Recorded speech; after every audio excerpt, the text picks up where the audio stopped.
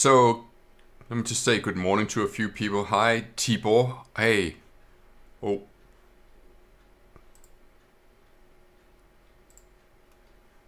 Let me just see here. Hi, Tibor.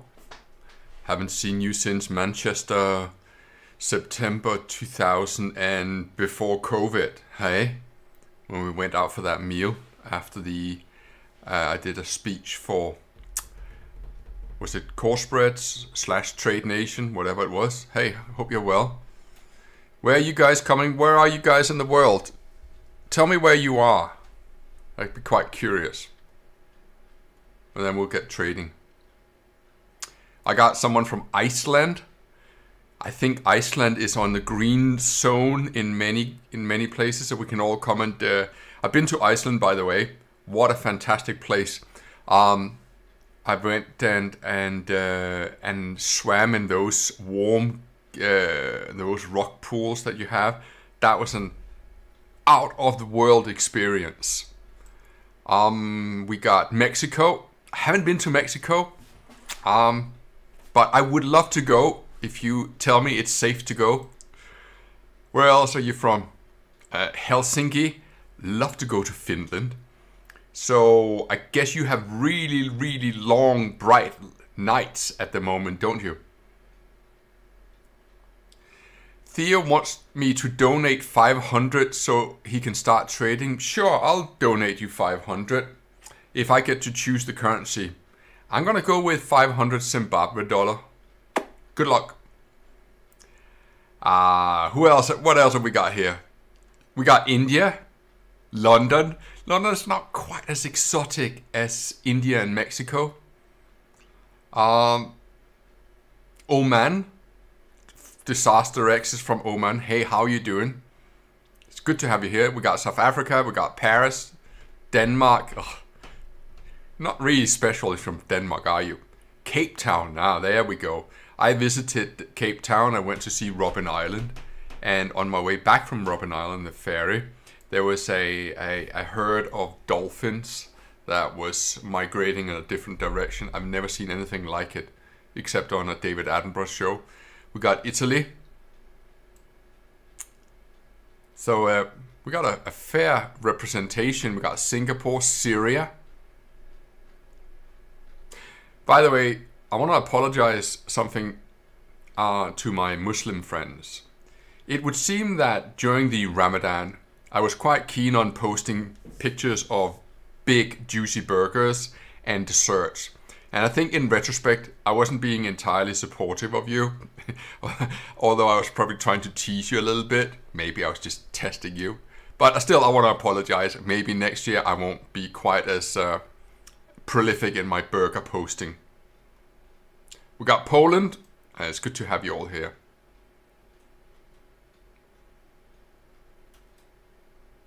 Sri Lanka. Mongolia. Now that takes the prize. Hello, Gantulga from Mongolia. You take, I think you take today's prize. We got Tehran, Mumbai, Sweden. Wow. So I, I know, I'm just, I'm curious where you guys are from. Russia. Hello, Russia.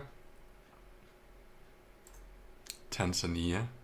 Lots of Denmark. Jamaica. I have been to, uh, I have actually been to India, would you believe it?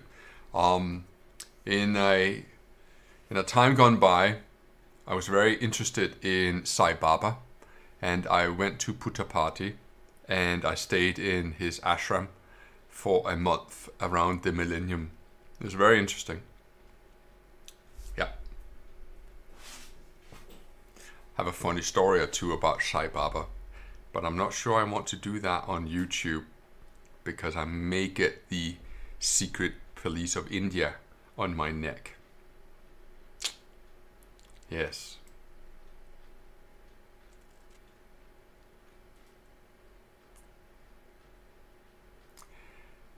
All right, David Brighton, shout out from Australia, Portugal, Ærø. Jan. Sorry, Jan, but that's kind of funny because Ærø is a beautiful place, but it's just kind of in the context of Jamaica, Mexico, Cape Town, Ærø.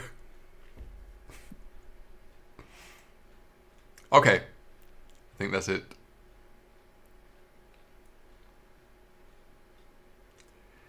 Yeah, as uh, Adrian is saying, sometimes we Danes we get into trouble for our sense of humor or our distinct lack of sense of humor. Yeah. yeah. Infamous for bad sense of humor. Right. Tell me something. Now, this is over to you. All right, are you ready? I got about 20 odd minutes. I will pick one, maybe two topics. I will obviously keep an eye on the, on the market. Tell me, what would you like me to talk about? Do you want me to talk about adding to positions?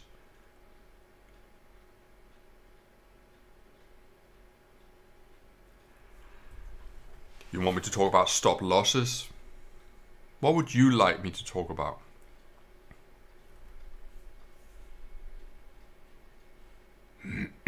Okay, so you get, I may not pick your topic, but just I'll give you a minute and then I will, uh, I'll pick a topic, okay? In the meantime, I'm just gonna go over to look at the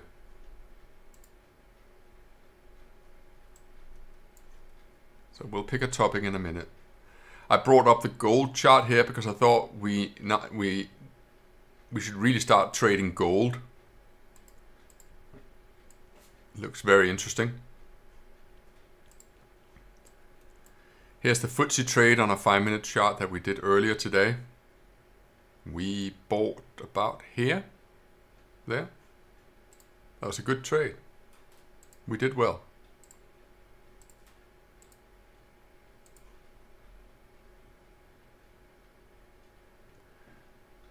I think we bought about there. That was our entry. and our exit was, or my exit was here.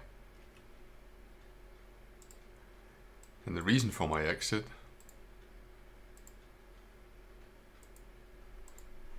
was the two tops here.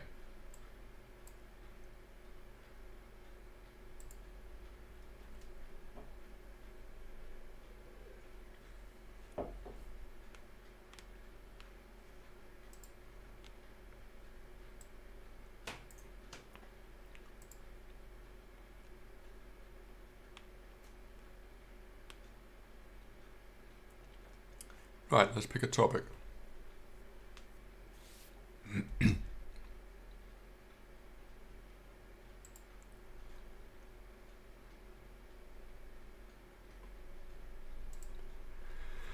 okay, let's have a look.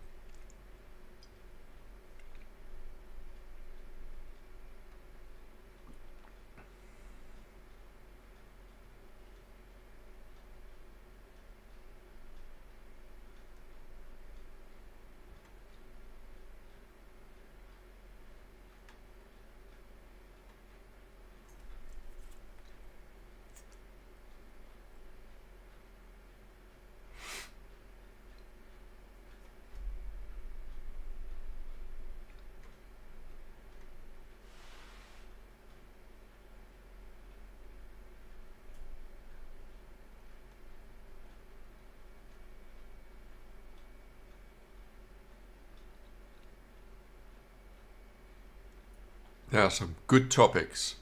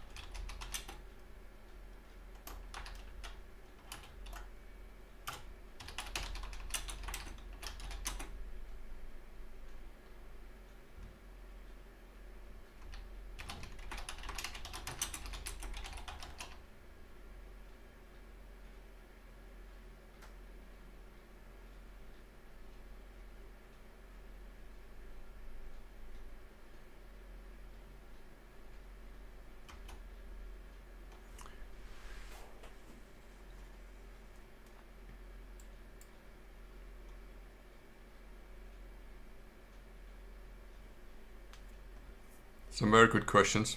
Okay.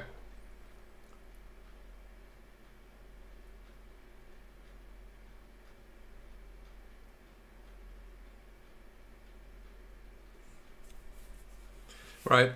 I think I'm going to answer a few questions.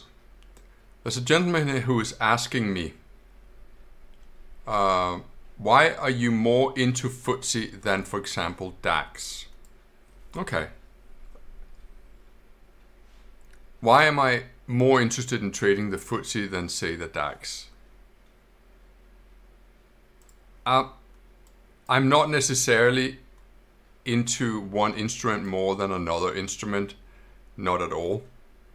But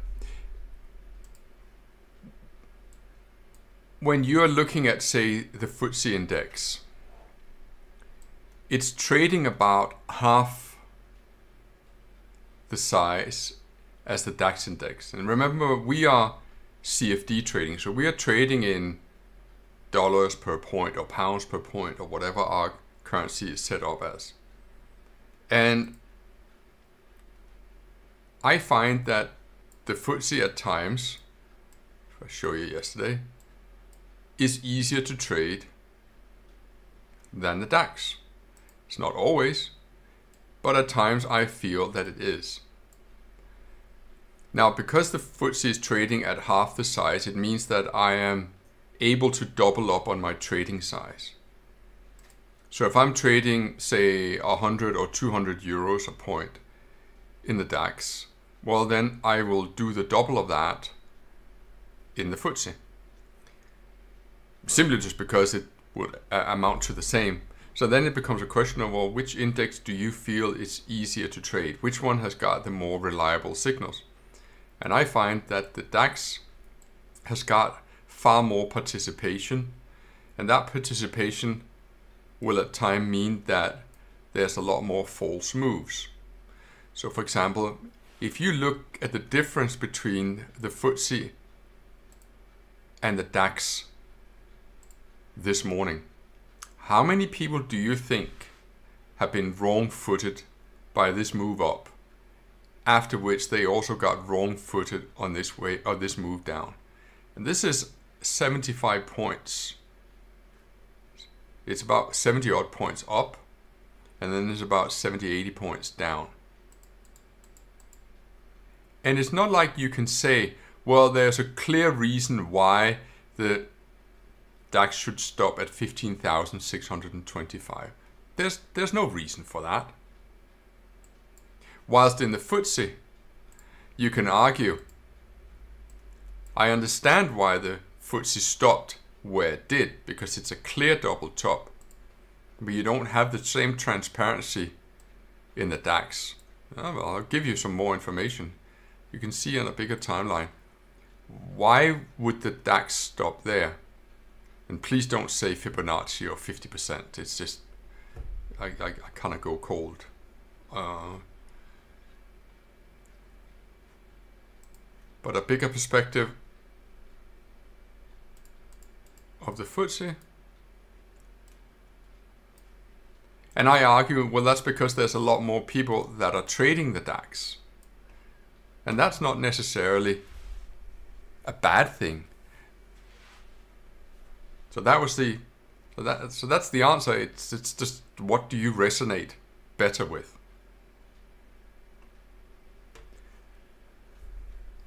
Now someone asked, how do you add to winning trades? And that's a really good question.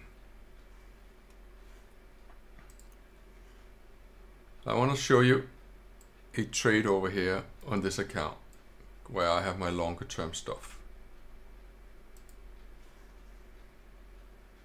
This is a good example of a way to add to a winning trade. You start down here, hopefully you can see that.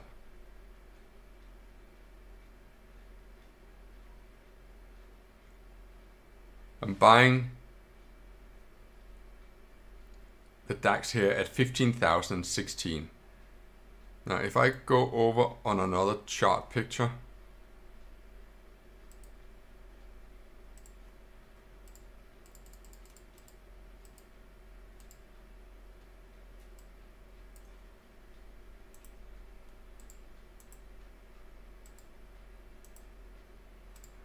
and I just tidy this up.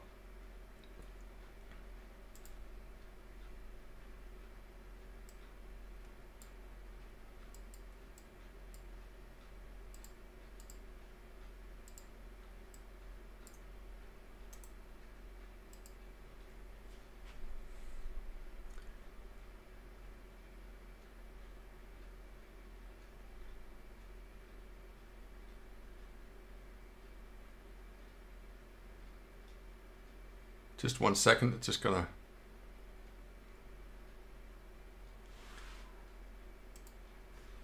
So the first trade was executed on the 19th of May at 1520. Okay? So if we go to this particular day, the 19th of May, 1520, that's about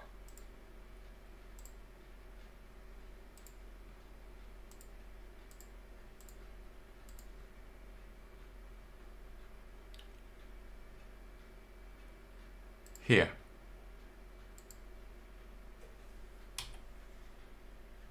So why would I buy down there? Well, if you know your technical analysis, and I'm sure you do, you say, well, down in this area here, there was support. So the question you always have to be mindful of is, am I honoring this support here Or should I use this as support down here?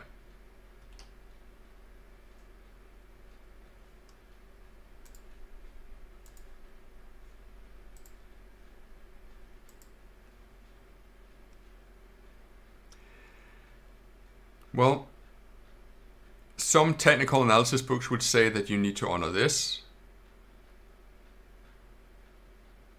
What I was keen on is saying, well, it didn't last very long.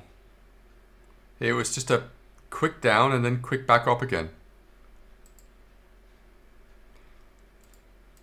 Now, what made me buy right there? If we go to a different time frame, say a five minute chart,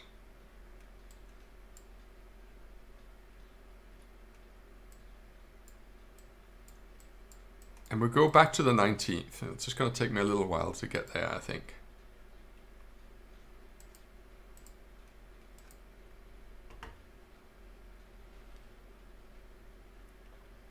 Nearly there.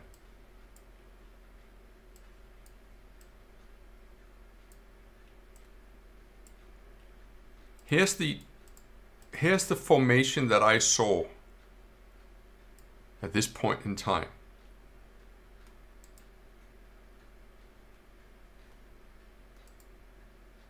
Oh, did I just screw? Sorry guys, I think I just made a bit of a boo-boo. Whoa, it's taking its time. I'll get there. I think it's a really important lesson for you to have.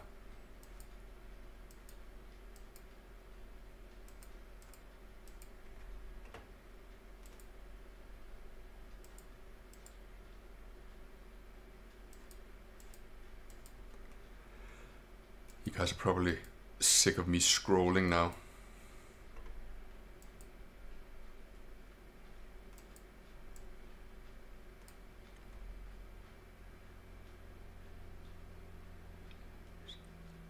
So the trade was executed there. This bar here.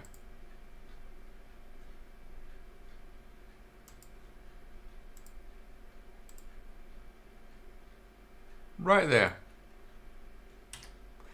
And if I'm not mistaken, this was also a call in the live Telegram group. So what made me buy there? Well, I have a, a breakdown on this bar here. I then have a trading range with inside bar and an inside inside bar that then breaks down again. We then have an inside bar. We have a a new low, which closes halfway But the real decider, or the one that makes me go, right, I think this is it, is this bar here. You make a very dramatic low. This bar here is significantly longer than the prior bars and it's probably also longer than this bar here and this bar here, but it closes right at its top. So I thought to myself that this low here had met support that I had seen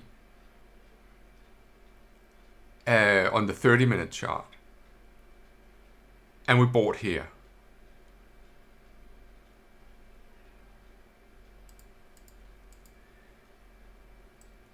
And by the time that the DAX actually comes up here, I can already move my stop loss up to break even. So now I got a comfortable winner that has a good 150 points in profit. The next time I add to this winning trade, uh, two days later at 8 o'clock in the morning. You see that here? 8.06. So let's see what that looks like on the chart.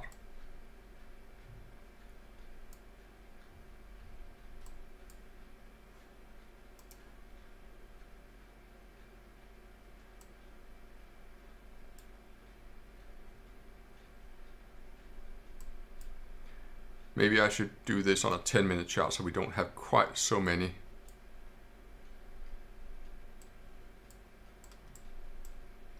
Yeah, that's probably a better way of doing it. So the next entry comes over here on the 21st.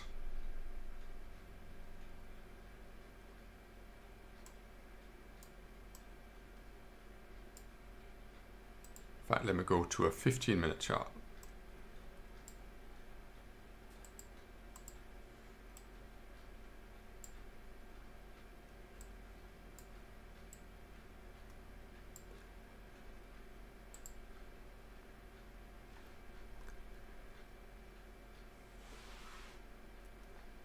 The next entry comes here.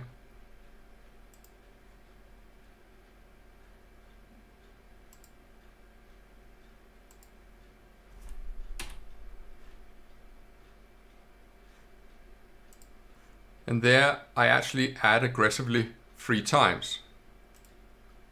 At 8 o'clock and 9 o'clock and 9 o'clock. And I'm essentially free folding the position from 100 to 200, 300, 400. That all takes place here.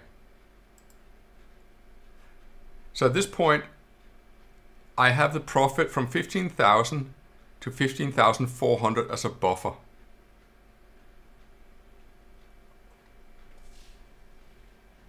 On the daily chart, it would look like this.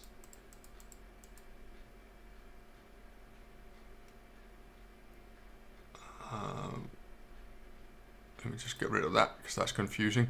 So we bought down here. We have a very positive day the day after. And on the 21st, the moment we start trading above the high of the prior day, which was a very positive day, I am now adding to the position very aggressively, thinking that at the very least we need to get up here and test the highs. This is nothing but simple pattern recognition.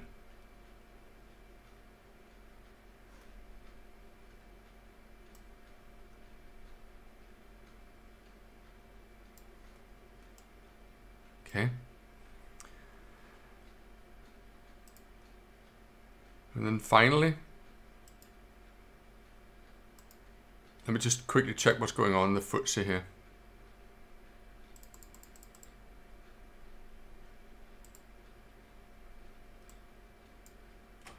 FTSE has lost a lot of ground.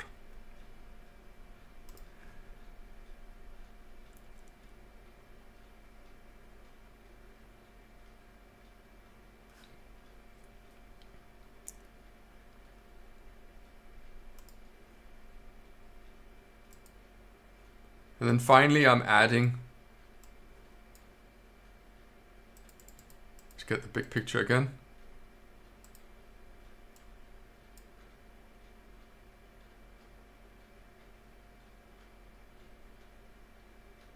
On the 24th.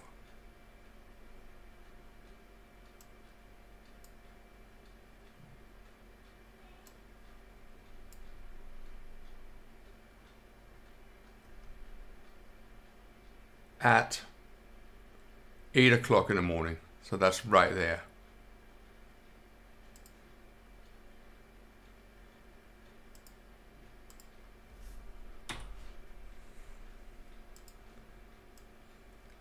So that's it, ladies and gentlemen.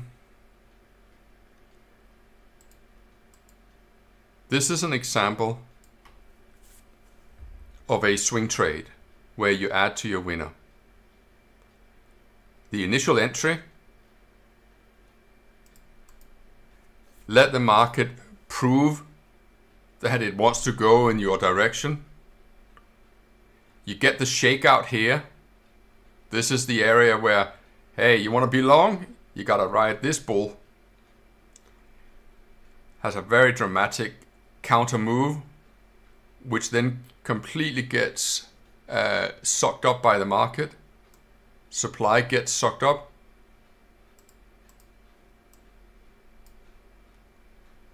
Adding to the position quite aggressively because we're coming in from a trading range after a bull trend. So the odds are high that we're going to see continuation. That position there is now in profit as well. So now you add more here. So you have the initial stake is 100%. In this case, I added 300% and then 100%. And then the last add is the one that is currently losing me. It's here. It was added on the 1st of June.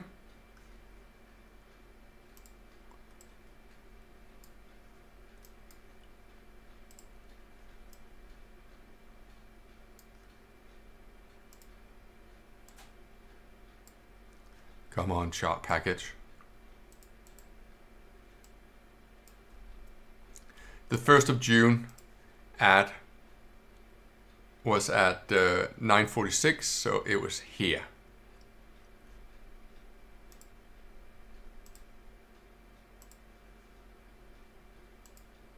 That's it.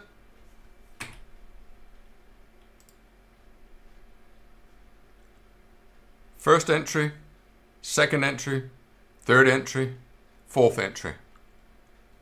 And that's it. That's an example of how to add. It's it's I, I don't have a I don't have an algorithm that says add every 10 points or add every X amount of arbitrary points. On the contrary, I will gauge the position. Now I know, for example, from my studies that the, the turtle traders who deployed the trend following uh, mentality would have a very regimented way of adding. And I think that's probably because they had to be taught this. They came in as trade as individuals off the street and they possessed a skill set that the people that hired them uh, Richard Dennis and William Eckhardt felt was conducive to the right kind of trading mentality. But they weren't necessarily traders. And so they had to be taught something which was very mechanical and very regimented. Now, I I would probably benefit from having a strategy like that myself, but I actually prefer to gauge the market at the end of the day saying, well, do I think that this price action today is going to bring in buyers or sellers tomorrow? So therefore, my adding strategy is not uh, is, is, is, is different than to say a, a very regimented and mechanical approach to it. But what you saw here was a, a swing trading approach when it comes to adding to positions. But the and and you have to obviously be mindful that if the the second position, if the market had gone against me, the, the market would have very quickly sucked up my profit. It would have been gone. And you, you know, it, it, it's, it's very easy to talk flattering about adding to positions because it, uh, um, it it goes contrary to what the majority of people engaged with trading from a retail point of view like to do. They wouldn't like to add to the position, they would rather take profits off their position, you know, halving their position, quartering their position. And as, as such, you can stand here with a little uh, little halo going, well, I'm doing the opposite. But with the opposite, there's a very distinct flip side. And that distinct flip side was something that anyone who has been a member of the Telegram channel last year will know. And the and that is the amount of times that I would go into a position which would have a good entry point, the market would move in my favor, and I would then add to the position, at which point the market would then uh, flip side. And it was almost always V reversals. And I would almost always be short on the way down.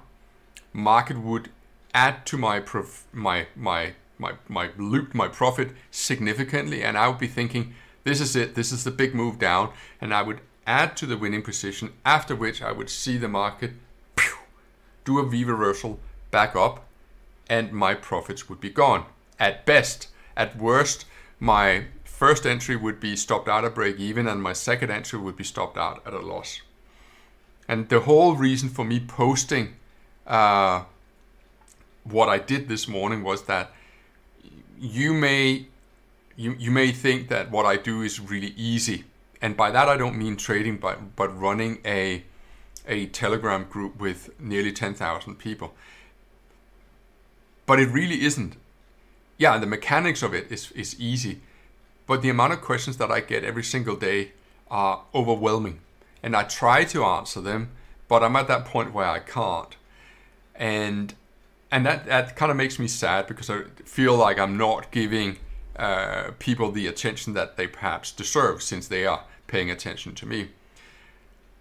But there is another unintended consequence of having grown the room presumably the room is growing because what is taking place here it represents something that you don't really find anywhere else and that is that someone's actually you know prepared to show you live what he's doing but i also as an as a consequence of the room growing i also get a lot of people asking me why aren't you short the market is falling or why are you not buying the FTSEs going up and as i I've just posted two very simple examples there.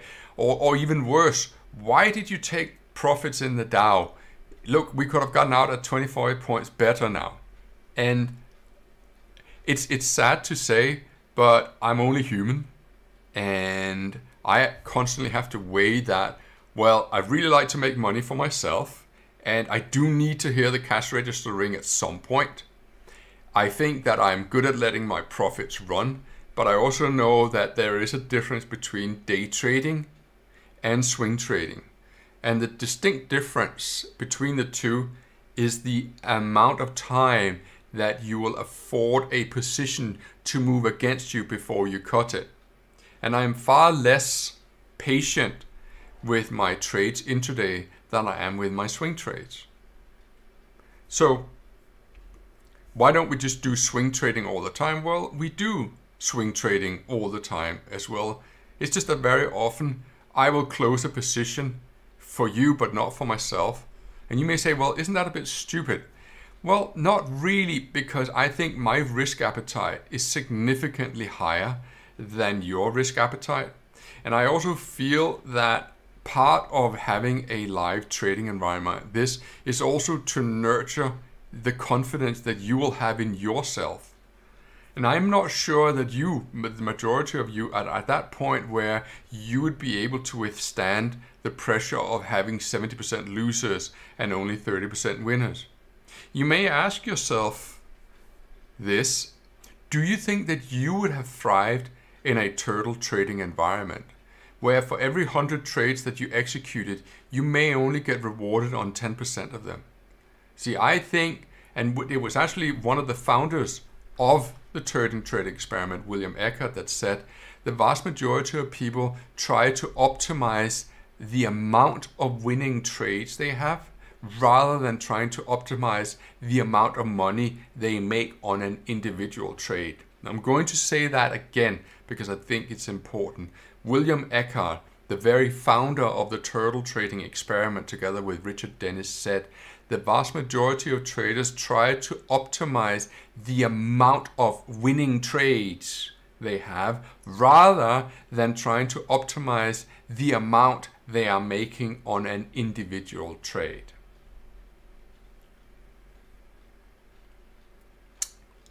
So I will often hold positions over the weekend, and I'm not sure that I would want to take on the collective responsibility of 10,000 retail traders holding a position over the weekend, not knowing what would happen on a Sunday night slash Monday morning, not knowing if I was the one that just was responsible of 8,000 retail traders blowing their accounts because a suitcase bomb had gone off in New York and the market was limit down. For example. Yeah, I hope you understand that. That it's a very fine balance between portraying the right kind of trading behavior, but also being mindful of the responsibility that I, as an individual, have to you.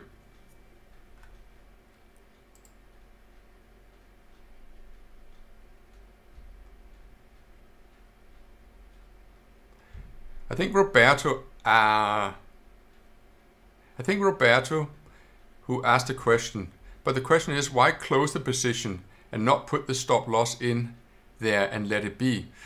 Well, Roberto, I'm not stopping you from doing that, but I also have to balance that desire, ego, the desire to actually have a profitable room.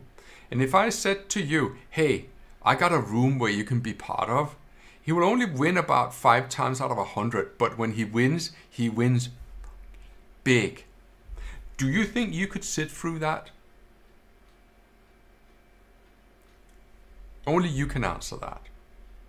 But I can answer the vast majority would be left by the wayside.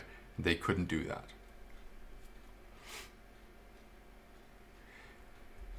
Someone has asked me, why do I not trade with stop loss? Well, A, because my account is big, so I can afford it. B, I feel that I should gauge the market on what I'm seeing rather than having a stop loss. I almost always have a what I call a disaster stop loss, a stop loss that is far away in case some real bad behavior does happen. Listen, I just need to pause for a second. Excuse me.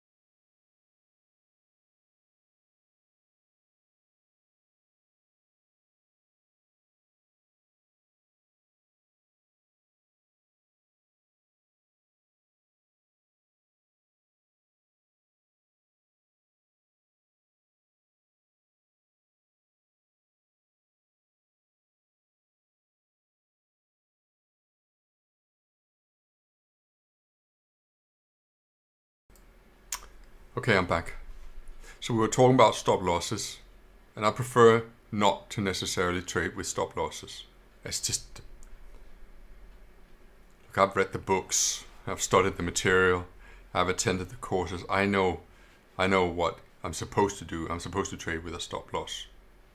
And if I am trading with a, say, I'm doing a big position in Dow intraday or Nasdaq, I will have a stop loss. But if I am swing trading and I'm starting off with a what I would call my my first entry, I wouldn't necessarily have a stop loss there. And that's just my philosophy. You certainly shouldn't share that philosophy.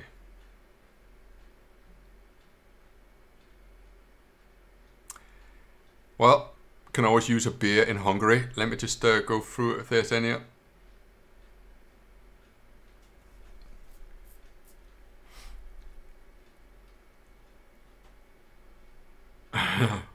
I think I think Stuart O'Brien is. Uh, I have to be careful what I say. It's a valid point.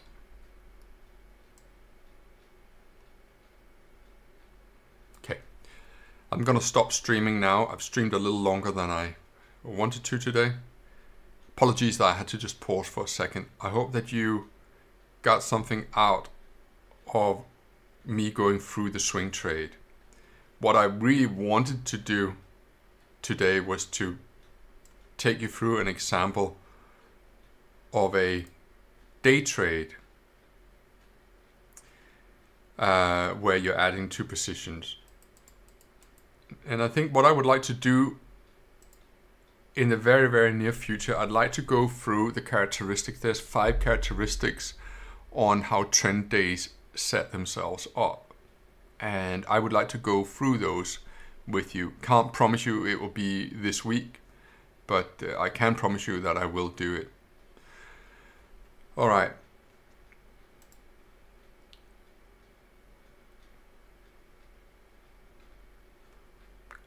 You take care of yourself. I'll see you soon. We'll see you for the US session. Bye bye.